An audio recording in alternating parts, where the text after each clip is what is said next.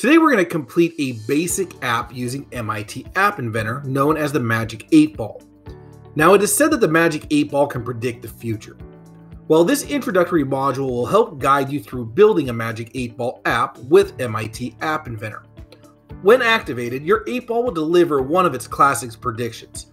You will learn how to create your predictions and incorporate them into your app. Our learning goals for this activity is to learn how to navigate the MIT App Inventor environment. This includes the designer, block editor, as well as the MIT App Companion. We will learn how to correctly use the following App Inventor components, such as the accelerometer sensor, the button, as well as a player. We will correctly use the following App Inventor concepts, making and using a list, as well as responding to an event. Now, the materials that are needed for this is our MIT App Inventor website. We will also need the Magic 8 Ball AIA file, which will be downloaded from this section, the MIT App Companion from our Google Play Store, as well as this video lesson tutorial. Let's go ahead and take a look at how we could import that AIA file into our MIT App Inventor. In order to begin with your Magic 8 Ball app, we're going to need to log into our MIT App Inventor. Now we can get to our MIT App Inventor by clicking on the link in your Schoology or simply typing in ai2.appinventor.mit.edu into your URL. If you click on the link, it will bring you to a sign on page where you will need to input your school email address. Once you click on your school email address, it should bring you to your MIT App Inventor.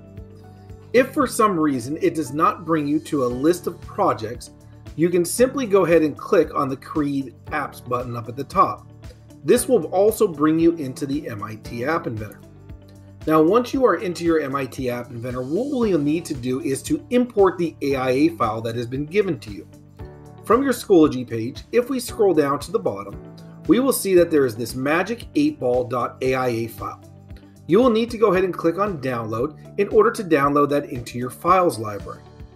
Once it's downloaded into the files library, we can go back to our MIT App Inventor, and from here we're going to need to go to Projects. From Projects, we're going to select the Import Project AIA from my computer. Make sure you select the one that says from my computer and not from a repository. Once you click on that, it's going to ask you to choose a file. Select the Choose File option. From here, your file library will open up you can simply go to Recent in order to locate the Magic 8 Ball AIA file. Now, once your files open up, you will need to select that AIA file. Simply click on that Magic 8 Ball AIA and select Open from the bottom part of the screen. From here, you will see that the file has now been uploaded and we will need to select OK. Now here it'll take a minute or two to import the file into your MIT App Inventor. Once you see the name appear, Give it a few seconds and it should open up your designer view in MIT App Inventor. Now that you have the app imported in, it's time to begin designing the user interface. For our next step, we're going to need to go ahead and bring in our first component, which is known as a button. We're going to be bringing our button in from our palette and applying it to our canvas.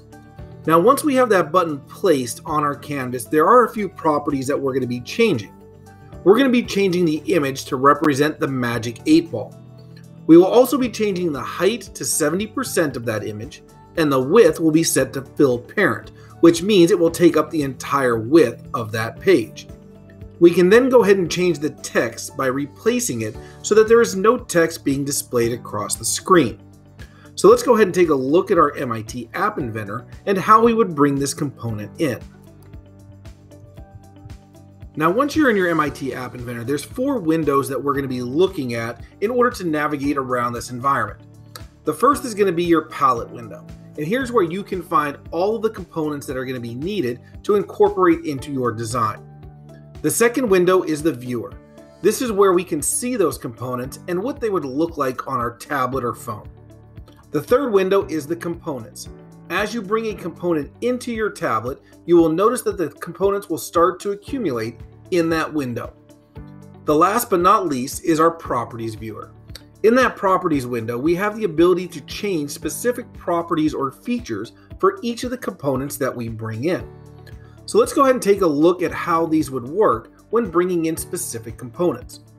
The first component we're going to bring in is this button. And we're going to do that by clicking and dragging the button onto our canvas. So we are basically taking our button from our palette window and dragging it into the viewer. Here you'll see that we have this text for button 1 and it also appears in the components viewer where we can see that button 1 is now part of our app. For the properties, since we have button 1 selected, we can change specific properties. One of the properties we're going to change is this image. We're going to change it from none by clicking on it and changing it over to Magic 8 Ball JPEG. Go ahead and select OK. By doing that, it will replace the rectangle with a preset image of the Magic 8 Ball. The next thing we'll need to do is resize this so it fits on our screen. We're going to click on height and change it from automatic over to 70%. Select OK. For the width, we'll go ahead and select Fill Parent and select OK. Fill Parent basically means that it's going to take up the entire width of your screen. The last thing we need to do is remove this text that's appearing over our image. We can do that by selecting the text property and deleting the text that's currently in there. Once you click in the screen, that text will disappear. Now that you have your button incorporated into your design, it's ready to move on to the next step. For step 7, we're going to be using a vertical arrangement and placing it underneath the button on our canvas. Vertical arrangements allow us to stack components on top of one another. So we're going to be using this vertical arrangement, and when we place it into that canvas, we're going to need to change the height and width to fill the parent of our screen. So let's take a look at our MIT App Inventor and how we would do this. For your vertical arrangement, we're going to need to go to our palette window. And in our palette window, we're in the user interface drawer at this time. We're going to need to go down and find the layout drawer. Once you click on the layout drawer, you'll notice that you have five options. You have a horizontal arrangement, a horizontal scroll arrangement, table arrangement, vertical arrangement, as well as a vertical scroll arrangement we're going to be using this vertical arrangement. So we're going to go ahead and drag that vertical arrangement in and make sure it goes beneath the button that has been added. Here you will see that our vertical arrangement is now added to our components window. In our properties window, we're going to need to change the height to fill parent as well as the width to fill parent. Now that we've gone ahead and created a vertical arrangement, we can go ahead and learn what components we will be adding to that arrangement. For step 8, we're going to go ahead and add a label within that vertical arrangement. Once we add our label, we're going to need to go ahead and change some of its properties. We're going to go ahead and change the text to read Ask the Magic 8 Ball a question. We'll change the font size to 20 and make it bold.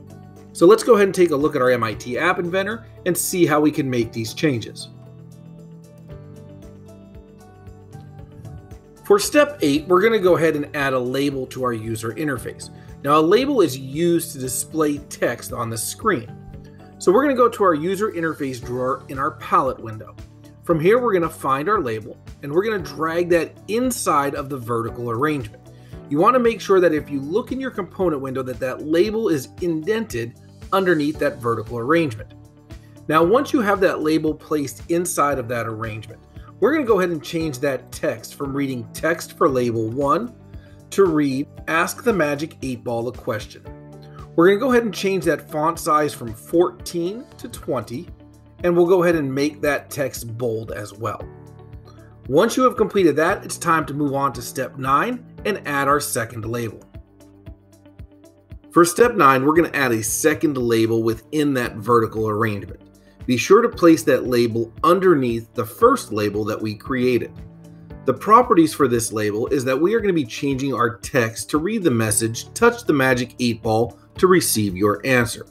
The font size will be set to 16, the font will be bold, and we will change the color of the font to blue. Let's go ahead and take a look at MIT App Inventor on how we would add this label. So just as we've done before, we're going to go into our palette and use our user interface drawer. We're going to grab an additional label and drag that into the user interface. Make sure your label is within the vertical arrangement and underneath label 1. Here we will see that we now have a label called text for label 2. we're going to go over to our properties and we're going to change the text for label 2 to now read touch the magic 8 ball to receive your answer. We'll go ahead and change the font size from 14 to 16. We'll make the font bold and then we'll go ahead and change the text color from default to blue as well. Now that you've completed step 9, let's go ahead and look at how we could add non-visible components to our app. For step 10, we're going to go ahead and use a non-visible component. This is a component that will not be seen on the user interface, but can still interact with our blocks or our code. So from the palette drawer, we're going to need to go to the media drawer and select the player component. Now the player component is a multimedia component that plays audio and controls the phone's vibration. So let's go ahead and finish up our user interface by taking a look at how we would do this in MIT App Inventor. In order to add the player component, we're going to need to go to our palette window and we're going to need to find the media drawer. Once you open up your media drawer, you'll see that the fourth component down is called the player. We're going to go ahead and click and drag that player onto the middle of the canvas. Notice that when you drag the player onto the canvas, it places it beneath the tablet. This is because it's a non-visible component and it will not be seen on the display screen. The properties for your player is that you have the ability to loop this, play it only in the foreground, you can add a source file, or change the volume. Now we'll be changing the source file within the block view, so no need to change any of the properties at this time, but now we have completed our user interface. So our next lesson will focus on how we can program our app to function and interact with the user interface and the blocks.